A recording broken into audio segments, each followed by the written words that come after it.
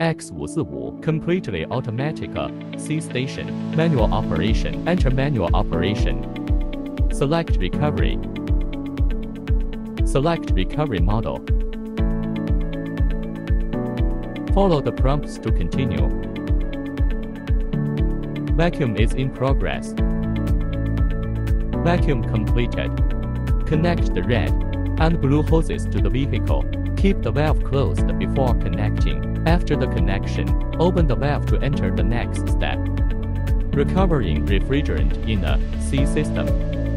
Drain oil is in progress. Record the amount of oil drained. Prepare for new oil refilling. Recovery completed. The operation results can be printed out. Vacuum. Enter the vacuum settings. The actual operation needs to be set as required.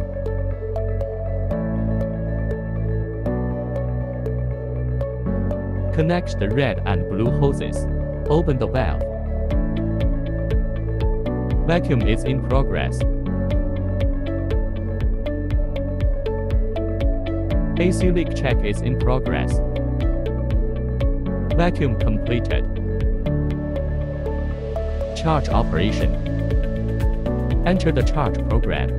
Set charge data. Filling data can be imported from the database according to maintenance car model. Data imported successfully. Then select the charge amount.